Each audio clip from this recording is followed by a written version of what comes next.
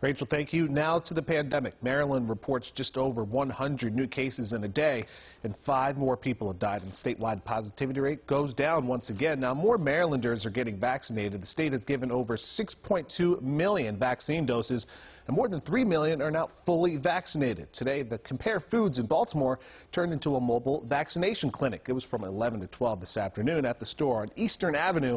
You see people came out to take full advantage of the opportunity. The Maryland Health Department partnered up with Compare Foods to bring vaccinations directly to staff and shoppers in the city. Now, if you're interested in getting vaccinated, you can get more information on our website, WJZ.com.